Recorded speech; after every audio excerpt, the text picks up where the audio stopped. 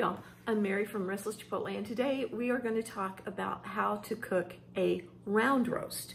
So the round roast looks like this. It comes from the um, hip area, the back leg area of the cow and it's generally a not extremely tender cut of meat because of that because it gets a lot of exercise. You want to look for some good marbling in the meat. Um, and you want to go with a either slow dry roasting method or a pot roast kind of method. And the pot roast method is what we're going to use today. I'm going to use my slow cooker and um, this is going to cook for about eight hours on low with um, a little bit of liquid. And so, uh, and we're gonna sear it first. We're gonna sear it first to caramelize the outside, keep the flavor in, and to add more flavor. So I'm gonna take it, we're actually in my kitchen today.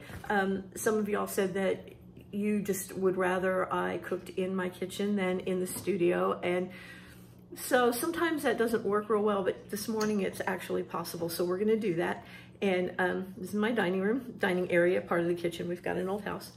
And so I'm going to take you over and show you how to caramelize your pot roast. And the caramelization method works with any kind of roast you do, whether it's a chuck roast or a round roast or whatever. If you want to caramelize that meat, if your recipe calls for caramelizing that meat, this is what you're going to do. All right?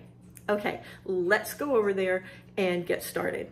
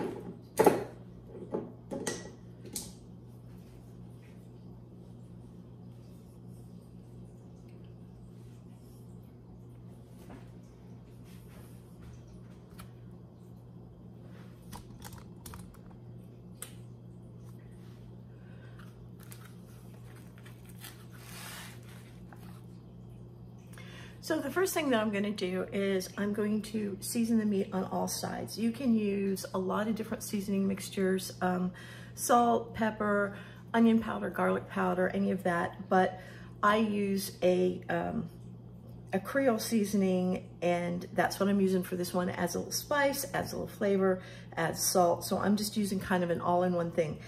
And you're gonna use about a teaspoon and a half per pound of meat of your mixture. Um, so I've got a couple of pounds of roast here and I'm just gonna spread this on all sides.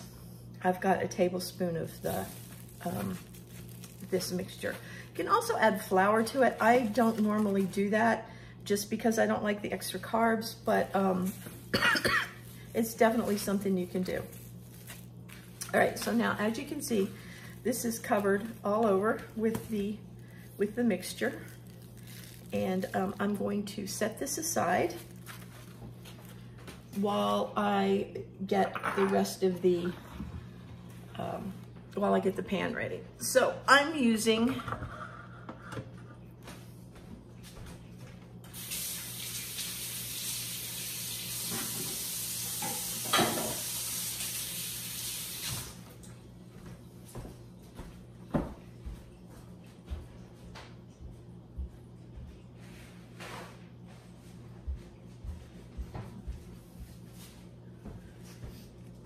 So I'm using an all-in-one cooker because what it does is allows me to brown the roast, caramelize the roast on all sides, and then I can turn it down, add the rest of the things, uh, turn it down to low and slow cook it, which is what I'm gonna do today. I'm using peanut oil, so I'm gonna use a little peanut oil in the bottom.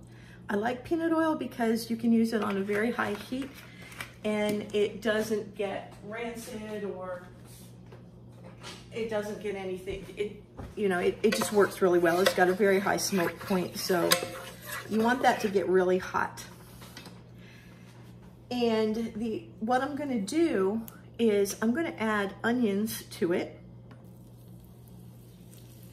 There, it's probably could have been a little bit hotter, but I'm just gonna add a few onions and I'm going to saute them just to add flavor to the pan. And again, this is all being done on a high heat because I want to do it fast for one.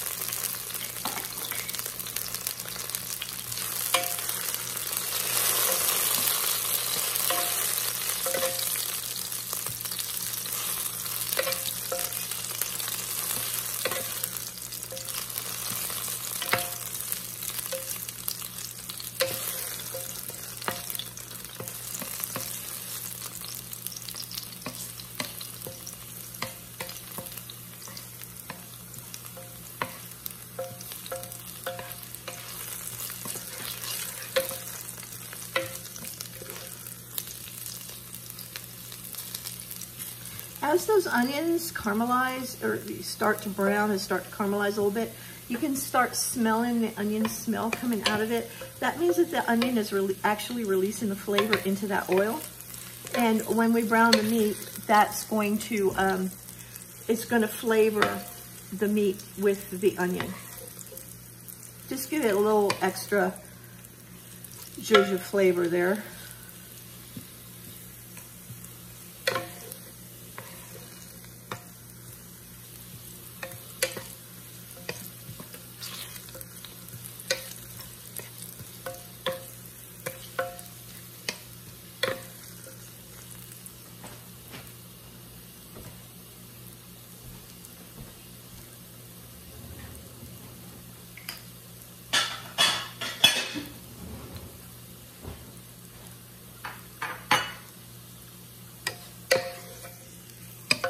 Now, the onions are almost done, so I'm going to add some chopped, um,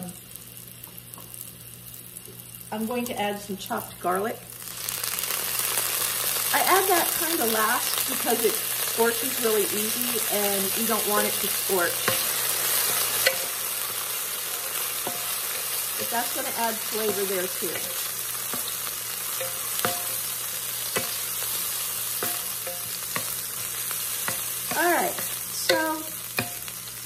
Onions are kind of brown, they're kind of caramelized, and the uh, garlic is in there. It's smelling really good in the house. So I'm going to go ahead and put the meat in there. And I'm going to start with the fat side and just let that um, caramelize off, you know, burn off a little bit. Not burn. Yeah, I'm just going to let that brown and caramelize for just a minute. And I'm still kind of pushing all of the garlic and onions over so that they don't uh, get scorched. You can actually take them, in fact, I'm going to do that and take them right out so that I don't have to worry about it.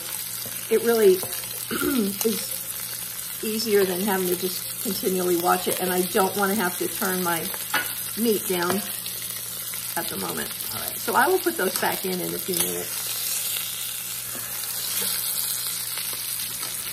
So when you've left that for a couple of minutes, you can check it and uh, make sure that it's started to caramelize. It doesn't usually take very long. Then we're going to switch it over to its side. And we're going to caramelize that side for a few minutes. And this is still on high heat.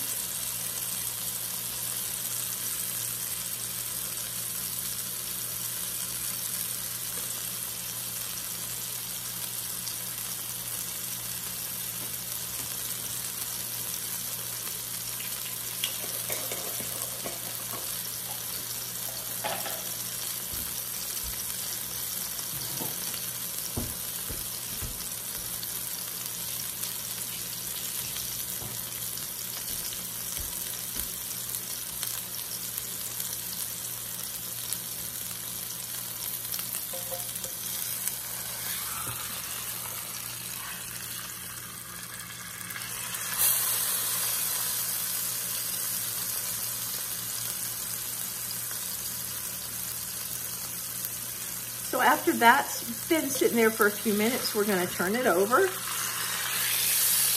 And we're going to hold it up so that we can get every single side. You, if I turn it all the way over flat, the edges aren't going to get done. And I want the edges to get done too. So I'm just going to hold it here. Um, you can do it with two, um, you know, two forks or however you want to do it. But I don't mind getting my fingers in there I think I'm burn proof at this point.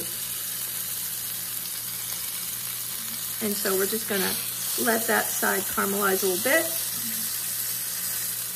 Get nice golden brown. And then I'm gonna set it up on the end.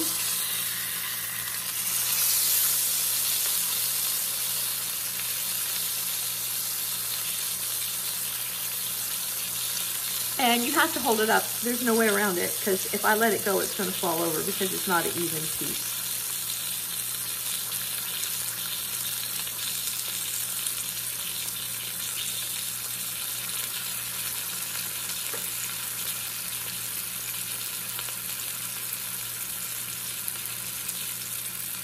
Now we're going to hold it up on the other side so that has a chance to do it. Kind of tedious.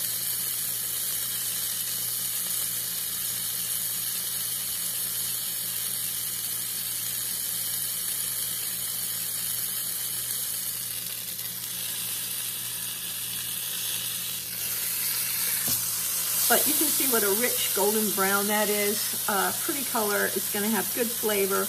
The meat juices are, um, the meat is adding its flavor to the oil that, you know, from the onion and the garlic.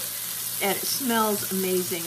And um, so you're just going to do that and let it caramelize on all sides. It's going to, it takes a few extra minutes than just plopping a raw piece of beef in the crock pot or slow cooker. But this extra couple of minutes makes all the difference. It's so worth it. And I realize sometimes y'all don't have time. Sometimes I don't have time. So you're going to miss it once in a while. But whenever you can do it, do it this way. It will make the meat have so much, so much better flavor and so much um, better texture, I think.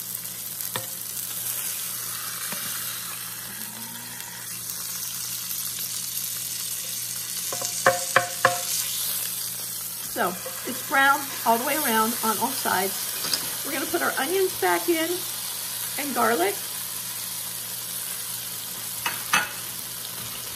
We're gonna add carrots.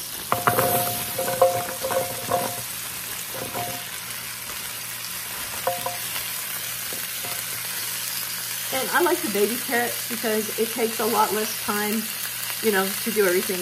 You can use the big carrots, baby carrots, whatever you want to use. Now, if this was a chuck roast, I would probably put a half a cup or so of, um, of liquid in here, whether it was water tomato juice or beef stock or whatever. What I'm going to do now is I'm going to change this to slow cook on low for eight hours. And I'm going to add about a fourth of a cup of water or beef stock, whichever. You just don't need very much with this.